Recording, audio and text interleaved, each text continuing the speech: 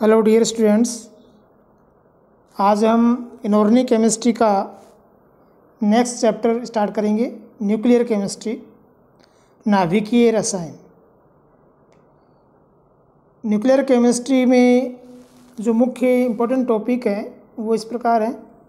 Stability of a nucleus N upon P या N upon Z ratio Einstein mass energy relation types of radioactivity group displacement law disintegration series q values nuclear cross section explanation और applications of radioactivity तो आज first lecture में हम nucleus के बारे में study करेंगे कि न्यूक्लियस क्या है इसके बारे में हम इसका इंट्रोडक्शन देखेंगे। कोई भी एलिमेंट है या कोई भी एटम है, जब हम उसके स्ट्रक्चर के बारे में स्टडी करते हैं तो हम ये पाते हैं कि उसके मुख्य रूप से दो पार्ट होते हैं। एक सेंट्रल पार्ट जो हाई डेंसिटी वाला होता है, और दूसरा आउटर पार्ट या आउटर स्फेयर जो सेंट्रल पार्ट है हाई डेंसिटी वाला है उसका एरिया बहुत कम होता है, उसका वॉल्यूम बहुत कम होता है। वो कॉम्पैक्ट फॉर्म में लगता है, जैसे एक्सरे डिफ्रैक्शन या रदरफोर्ड का जो प्रैक्टिकल हमने देखा, उसके अकॉर्डिंग हम यही देखते हैं कि जो सेंट्रल पार्ट है एटम का, वो हाई डेंसिटी वाला होता है और वहाँ पर पॉजिटिव चार्ज का जो डेंसिटी है, वो बहुत अधिक होता है। तो एटम को हम दो पार्ट्स में डिवाइड कर रहे हैं। जो सेंट्रल पार्ट है, उस सेंट्रल पार्ट को हम न्यूक्लियस कहते हैं। उस न्यूक्लियस के रीजन में जो चेंजेज होंगे, उन चेंजेस के बारे में या उन चेंजेस का जो इफ़ेक्ट होगा, उसके बारे में जो स्टडी है, वही न्यूक्लियर केमिस्ट्री है। तो हम न्यूक्लियस में होने वाले चेंजेस से पहले न्यूक्लियस का प्रॉपर उसका स्ट्रक्चर क्या है, उसका कंपोजिशन क्या है, उसके बारे में स्टडी करेंगे। तो कोई भी एटम है, उस एटम को अगर हम उसके आउटर स्फेयर के रीजन को छोड़कर जब उसको कंसिडर करते हैं तो उसको हम न्यूक्लियस या न्यूक्लाइड कहते हैं। और उसे हम इस प्रकार से रिप्रेजेंट करते हैं।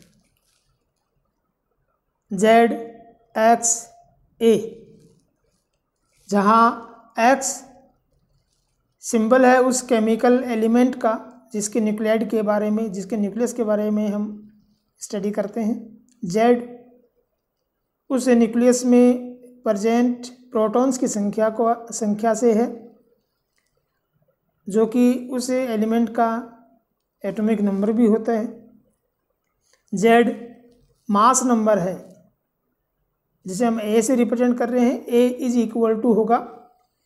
जेड प्लस एन, जहाँ Z number of the protons है, N number of the neutrons है।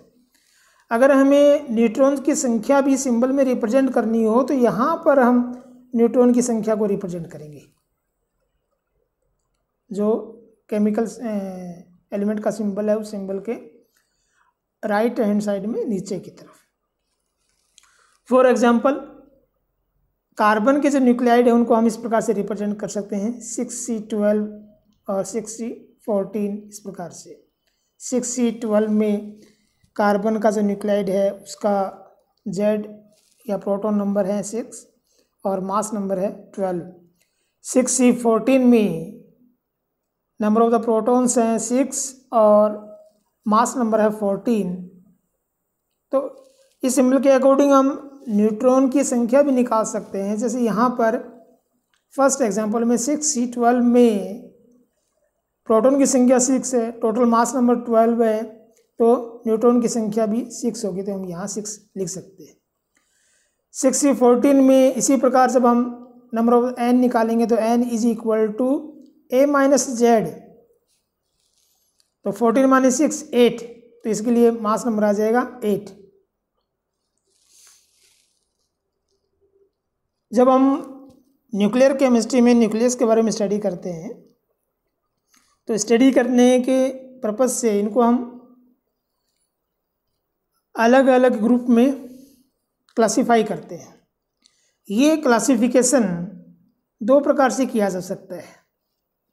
एक जो न्यूक्लियाइड है उसके जेड और एन वैल्यूज़ के आधार पर, नंबर ऑफ़ द प्रोटॉन और नंबर ऑफ़ द न्यूट्रॉन्स के आधार पर, और दूसरा on the basis of stability स्थायित्व के आधार पर। पहले हम देखते हैं on the basis of their Z and N values number of the protons और नंबर ऑफ़ द न्यूट्रॉन्स की जो वैल्यू हैं, उनके अकॉर्डिंग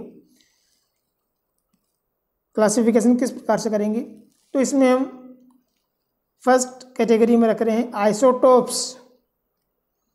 तो आइसोटोप्स हम उन न्यूक्लियाइड्स के लिए यूज़ करते हैं जिनके लिए उनका जेड वैल्यूज़ तो सेम हो, लेकिन उनकी जो एन वैल्यूज़ है वो असमान हो। क्योंकि एन वैल्यू असमान है तो ए का वैल्यू भी असमान ही आएगा। आइसोटोप्स, क्योंकि जेड का वैल्यू सेम है number of the proton same है। तो पेरोडिक टेबल में उनका पोजीशन भी एक जगह ही होगा। दैट मीन्स हम कह सकते हैं कि जो आइसोटोप्स हैं, वो एक ही एलिमेंट से रिलेटेड होते हैं। फॉर एग्जांपल जैसे हाइड्रोजन के लिए अगर हम बात करें तो हाइड्रोजन के जो आइसोटोप्स हैं, वो यहाँ पर हमने तीन प्रकार के रिप्रेजेंट किए हैं। One H one one H two, one H three. तो यहाँ पर इन तीनों के लिए जेड वैल्यू सेम है, वन वन वन।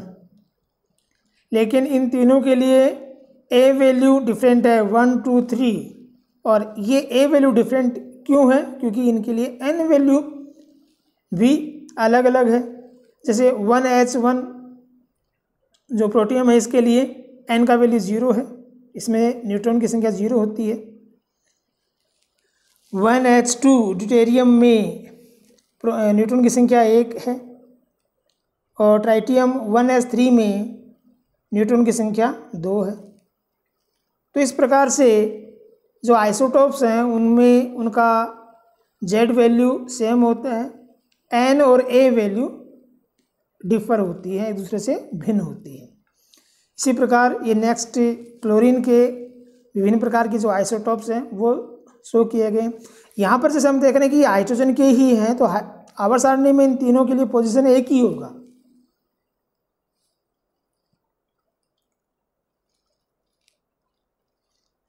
इसी प्रकार नेक्स्ट है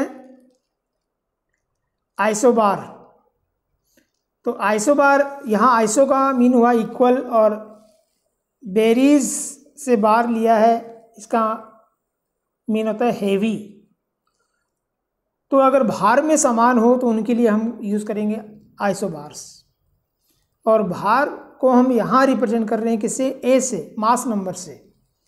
तो इस प्रकार के न्यूक्लियाइड जिनके लिए A value mass number same हो, लेकिन उनके लिए जेड और एन वैल्यू असमान हो, वो कहलाएँगे isobar for example one H three and two H E three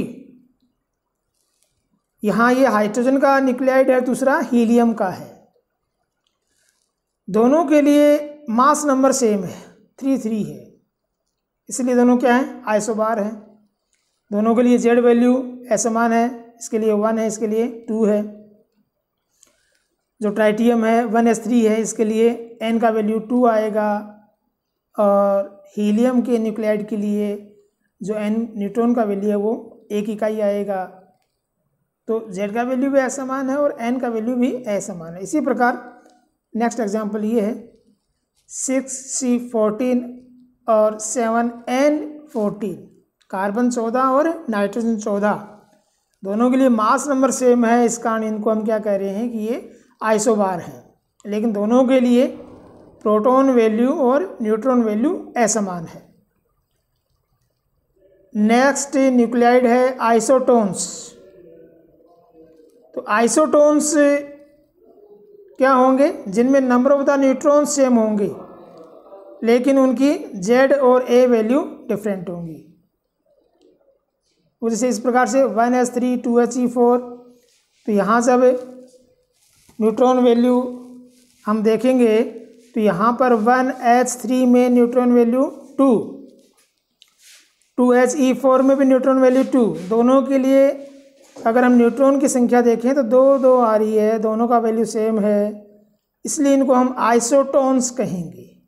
इसी प्रकार नेक्स्ट एग्ज़ाम्पल में सिक्स सी थर्टीन और सेवन एन फोर्टीन।